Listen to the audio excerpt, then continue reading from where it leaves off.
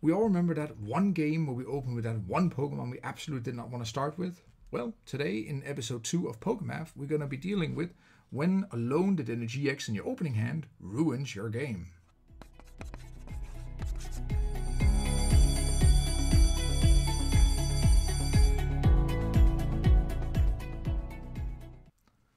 So hello and welcome again to episode 2 of Pokemath, where we today are going to look at when starting with Alone Dedenne GX ruins your game.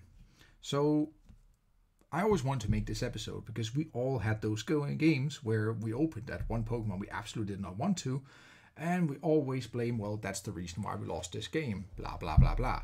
So, for today's motivation, we are indeed just looking at what is the probability to start with that basic do not really want to start with, right? So, well, without further ado, let's jump right into it.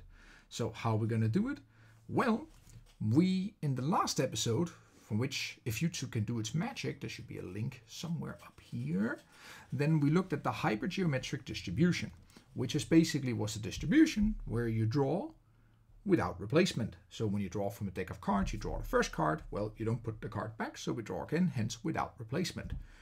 That's the formula we introduced here. And yes, it looks a little um, difficult for most, but what I did to help people was that we tried to translate into a more, um, say, a Pokemon friendly version of the same, right? So you can see it as this. It takes as inputs the number of basics from the last episode. In this episode, we're going to be looking at the number of cards of the ones you want, say that Dedenne GX or do not want, and X being the number of the desired amount you wish to hit. We have the deck size, we have the cards drawn, and that's basically all the inputs it takes. So if you do not really understand how the hypergeometric distribution works, well, you might catch in this episode, otherwise just watch episode 1 and hopefully it should become clear to you.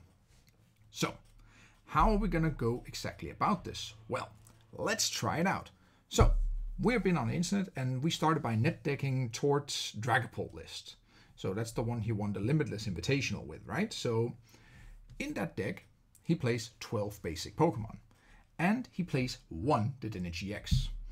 And then what we what we really want to figure out here is that what is the probability you open with just that one Dedenne GX, and that pretty much ruins your game most of the time. At least it's probably your worst starter in the deck. So just for example, he plays the following basic Pokemon in his deck. We have all the Dragapults, we have some nice Jirachis, we have the six Zagoons, we have one Giratina and one Dedenne popping in. You might say Giratina is a very bad starter too, but you could scoop up that, that one, so I still take the GX as the absolute worst one, okay? So we're looking at what is the probability indeed you start with that stupid Dedenne GX right there. It looks cute, but it's annoying at times.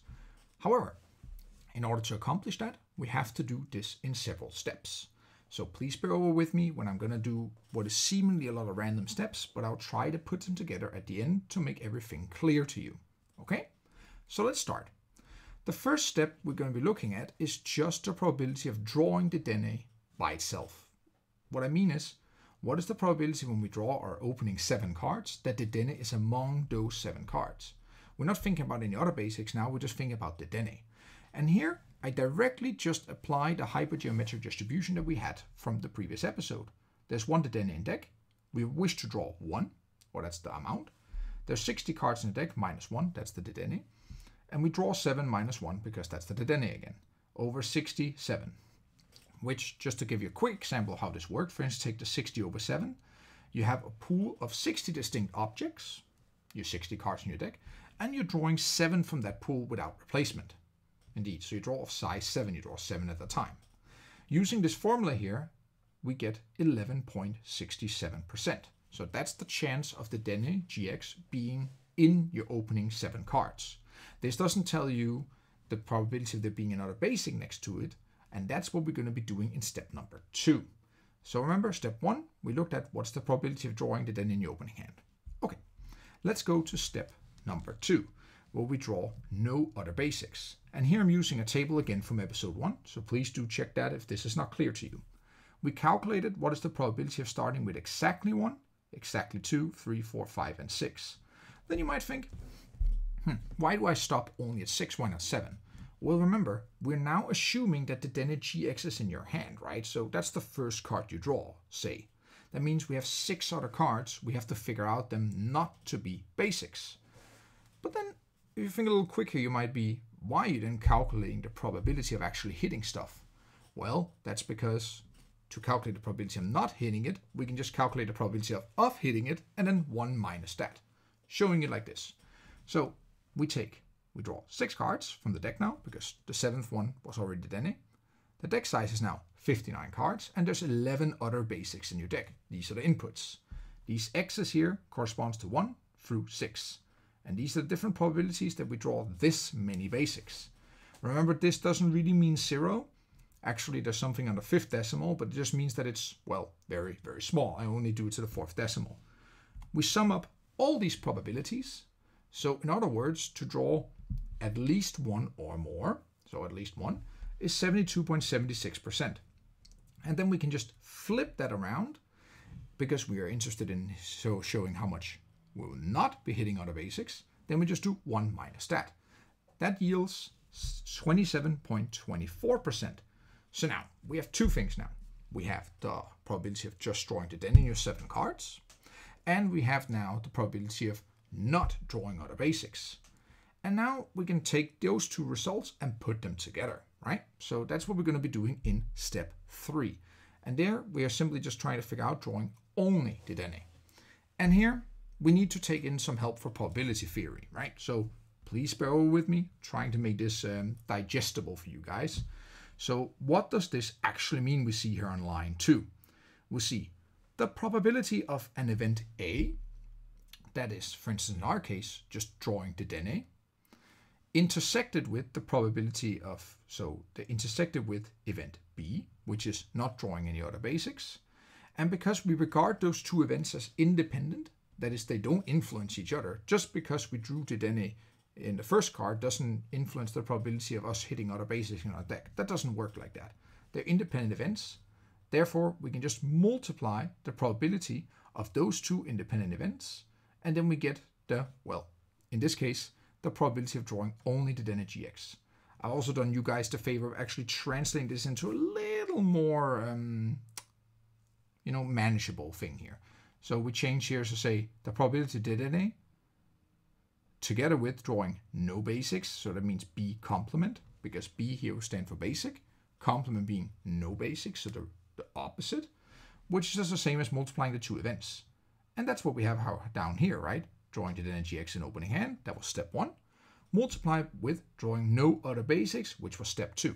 So I take those two results, and that gives us together 3.18%. And that was it, guys. Thank you for watching this episode. Roll end credits wait. That would have been easy, right? That would have been uh, way too easy. Then I could have made like 15,000 episodes with these small results. No, no, no, no, no. We're not there yet because there's one other thing you have to take into account here, and that is what about mulligans? So you see here, now this up here changed again because I'm actually changed this again because now in order to take into account for mulligans, we have to make a small distinction. You see, I added a 1 up here. 1, 1, 1, 1. It means the same thing as before, with the exception this means now for your first draw. Right, so assuming you had no mulligans and you just drew. So those were your first draw. So this will give you the probability of drawing only the Dene in the first draw, so not considering any mulligans. So now we have to add a couple more steps in order to take mulligans into account. Okay? So Without taking mulligans into account, it's 3.18%. Now let's add mulligans into this to see how if, that affects our probability of starting Lone DNA. First, we have to figure out well, how often do you mulligan even with this deck, right?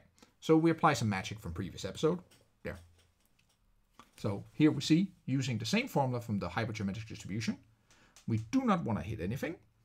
We're drawing seven at a time still, right? Seven cards from our opening from a 60 card deck, and there was 12 basics in this Tord's deck that we net decked here for this, right?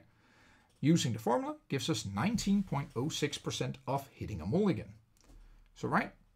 So now we, well, we need to take this into account now, and this might be tricky actually, because this is not it. You would just think, but I can just times these, this probability now with the one I got before and then get an infinitely small number, but that's not how it works. Actually, I can tell you that the result is going to be higher than this 3.18% we had earlier. And the way we're going to do that is that we're going to take a step back and then think about what are we actually looking for. So what are we looking for? We're looking for the overall probability of opening the Dene with no other basics. That's what this means. But what is that the same as? That's the same as in our first draw, not having or having a Dene with no other basics in the first draw, so without mulligan, plus the probability of a mulligan, which is this here, multiplied by with basically the same thing again. Well, why the same thing again? Because remember, if I get a mulligan, then basically everything resets and I'm going to draw again. So this could actually be represented as an infinite series, but you will see if you write it up, that this is basically just the same as multiplying with the same thing here again. So now we have the same here as there. But that doesn't really bring us to the result yet, does it? No we have to be able to model this result a little bit in order to get what we want, which is a digestible expression for, well, what's the probability of actually opening lone to Dene and that screws our game over, right? So in order to do this, we're going to conduct a little magic experiment here, right? So this is what other people call math, but some people here like, well, here went to Hogwarts for like five years to figure out how this is done. So we apply some magic, which will be done with a little help from this guy. And now let's see what we can transform this into. So I'm basically just using high school math here, but uh, well, for some people it's still magic, and honestly, sometimes still magic to me. So mm-hmm, mm-hmm, mm-hmm. Let's keep it going. Let's see what it does for us. Yeah, okay. Ah, pretty. Oh, nice. We're almost there. And voila. This is what we can rewrite this expression to. And now, if you take a moment to look at that, you'll be like, but we already know some of these things, right? We know what the probability of the mulligan is. We calculate that already. And we also just calculated in step 3 what the probability of this up here was. So we actually have all the inputs we need in order to calculate the overall probability. Hmm, cool. So let's just, you know, plug that in. So using this together, we put in the 3.18% we calculated in step 3, 1 minus the probability of mulligan, which was from step 4, and this now gives us 3.93%. And that, ladies and gentlemen, is the final result here. The probability of starting lone DNA taking into account mulligans as well. And as you can see, it's slightly higher than the 3.18%, and that makes perfect sense because every time you hit a mulligan, you basically get a new chance or risk, depending whether you how you look at it, right, to start lone Dene over again. So if you would net dex Tord's deck here, you will in approximately 1 out of 25 games be screwed over by starting with lone Dene. That's basically it, right? So, summing up, what did we learn today? We learned that again, we can use the hypergeometric distribution to calculate the probability of start with lone Dene. And we can also do that with or without controlling for mulligans. Because remember, step three was just without mulligans, and now with step five, we get controlling for mulligans. And that, ladies and gentlemen, was all I had to bring for you today. Hey guys, thanks for watching my second episode here of Pokemath. I hope you guys enjoyed the episode. Please don't forget to, well, subscribe for my channel and leave a comment if you have any ideas or input or just want to say like, hey, this is nice, or you have some comments for improvement. I'll be happy to hear all of it. And well, in the meantime, until next time, where we're going to be looking at the surprises of prices. So until then.